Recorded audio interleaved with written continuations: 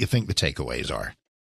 Well, it, it, I'll be honest with you. There were times it was hard to hear. I mean, I know the C-SPAN cameras are panning the room, and if if I'm looking there looking like I, I not heard what he just said, I didn't hear what he just said because he either whispered or yelled it, and uh, then of course the crowd, uh, the, the house got a little noisy there at a couple of times as well. But what are you supposed to do when he when he bashes the energy companies that are keeping us uh, in in transportation fuel and our houses warm and cool in the summertime?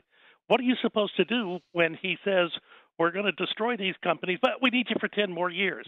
I mean, these are big investments that these companies make, and if you say there's a ten-year time horizon to recollect your investment, guess what? There's a lot of people who just aren't going to show up.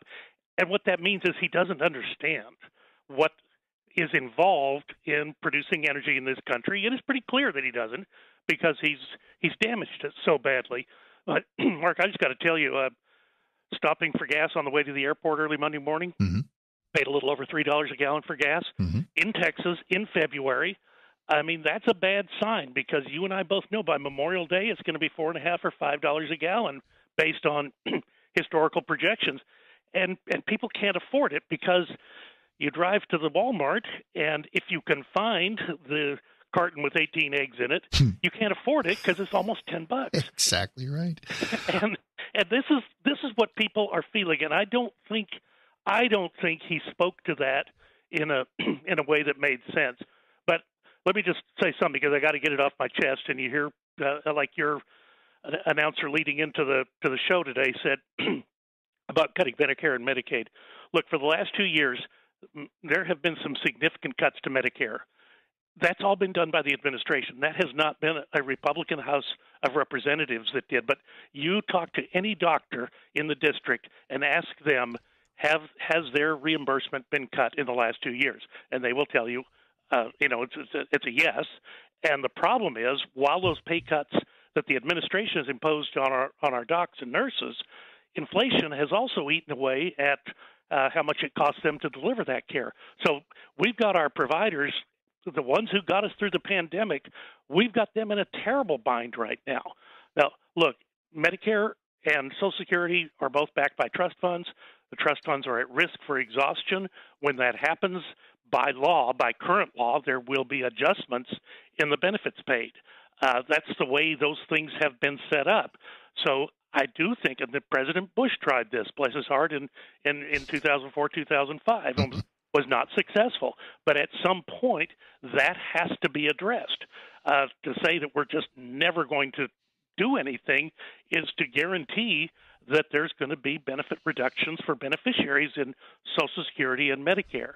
Uh, Medicaid is a little different because there's no trust fund involved, and there there perhaps are some dials to turn there. But Medicare and, and, and Social Security, yeah, you've got to do something to shore up the trust fund, as did Senators Dole and Moynihan back in the 80s. They wisely did it in a way that it would go into effect 25 years later, uh, and so people didn't feel it acutely at the time.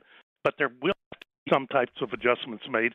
Everyone knows this. It's not a as, as, Biden would say, this is not a joke. It's not. It's no joke. You know, exactly. Call my office. Congressman Michael Burgess is here, and and I thought exactly the same thing. Lisa and I were watching this, and I, I said, "Look, it sounds great, and everybody's you know in a bipartisan moment of standing ovation. Oh, that's off the table. We're not going to do anything to Social Security or Medicare." And I said, "Okay, maybe not this year, but this is the definition of kicking the can down the road." And Dr. Burgess made a reference a few minutes ago that I want everybody to know that was from a straight Biden quote when he, he grudgingly admitted, you know, we're going to need all this oil industry stuff. We're going to need it for another 10 years. Another 10? And then one presumes, what happens then? And out in, out in California, where they're saying we will only have electric cars on the road or only sell electric cars in what, the next 12 or so years? This is an absolute attack on the fossil fuels industry. And here's the bad news part of this: their expectation, their fantasy is that we will be able to supply the energy needs of the country with offshore wind. I mean, this is the craziest thing I, I have ever heard.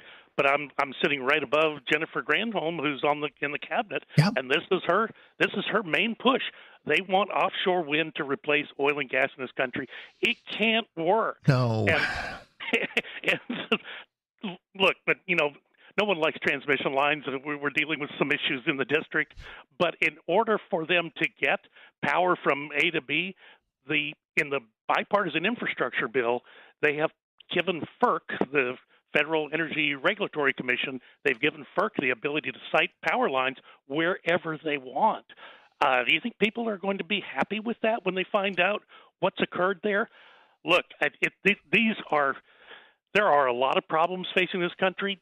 No question, renewables are part of the energy portfolio going forward, mm-hmm. but the reliability which we all learned, unfortunately, the hard way, mm-hmm. liability is, has got to be front and center. Now, and, and, in California, a state with as fragile a grid as you can find, they're saying essentially all of you, all of you need to be charging your electric cars at all times. All right, uh, Congressman Michael Burgess, in our remaining couple of minutes last night, thank you for being part of our last night analysis team.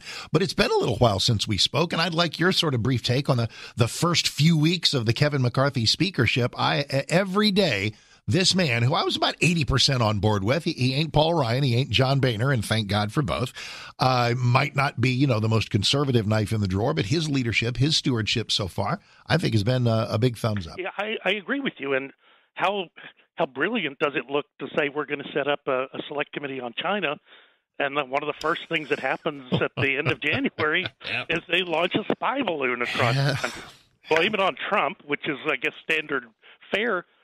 Uh, and hats off to them for shooting it down over the ocean. That was the right thing to do. They Ooh. just got the wrong ocean. They should have no, shot it down over no, the Aleutian yes. Island. Oh, he's been, he, he waited for this show to deliver the best line of the week. I was crestfallen for a moment. I said, "Oh no, don't go soft on me, Doc." It was the wrong ocean for those geographically illiterate. He means it should have been down in the waters off the Aleutian Islands before it even gets to Alaska. That is classic. May I steal that and use it Please. with at least. will, I will do so. I will do so. So moving forward in this 118th Congress, uh, and I mean the the, the battlefield uh, is striped in the way that it is. No great surprises last night at all. The era of big government is absolutely back. Uh, how do you, you know, Hakeem Jeffries is the minority leader and uh, Kevin McCarthy is the speaker. And so there's all kinds of different dynamics. How do you see uh, the, this, this very interesting year going? And that's before we even get to the notion of a whole lot of people running for president. Yes, that, that's true. And pretty clearly, Biden is one of those people. I mean, that was a political speech last night. Uh, I've, I've I've been around long enough now to, to recognize uh, that is this was not an, an aspirational speech given to, to rouse countrymen to, uh, to, to do things. This was uh, a speech that he could use for his reelection purposes. Uh, just back to your, your Kevin McCarthy comments, I, and and I do think you are you are correct in your instincts on that.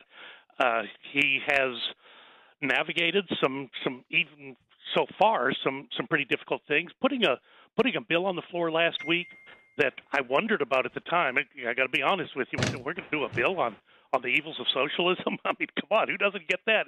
Well, it turns out half the Democrats don't get that. And very graphically, he demonstrated that of the 200 plus Democrats that are in Congress, 100 voted to say socialism is a bad idea. 100 said no, it's great, we're fine with it. Uh, it it was a. It's hard to for me to express to people back home what you're dealing with with today's Democrat Party.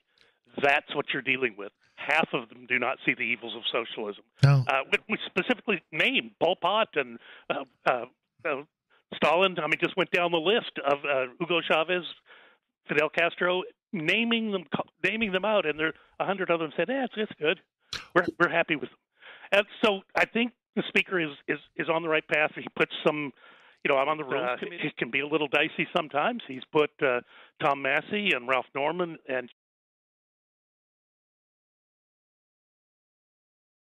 Chip Roy. Hundred of them said, "Yeah, it's, it's good. We're we're happy with them." And so I think the speaker is is is on the right path. He puts some, you know, I'm on the rules committee. It uh, it can be a little dicey sometimes. He's put uh, Tom Massie and Ralph Norman and Chip Roy, as well as two uh, newer members on the rules committee. It's great to be back to that nine to four ratio that uh, that the rules committee provides That's you. You know, right. you're going to you're going to win the votes. But here's the key, and and Thomas Massie uh, pointed this out early on. Is that if if if I'm going to have a problem with something you're bringing to the floor, you're going to know about it in the rules committee. So being from coal country, he uses the canary in the coal mine analogy.